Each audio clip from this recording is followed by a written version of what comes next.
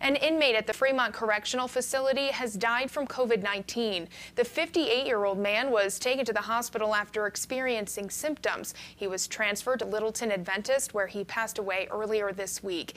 This is the fourth inmate we know of who has died of coronavirus here in Colorado. The three others were at the Sterling Correctional Facility. An outbreak there has gotten more than 600 sick since the start of the pandemic.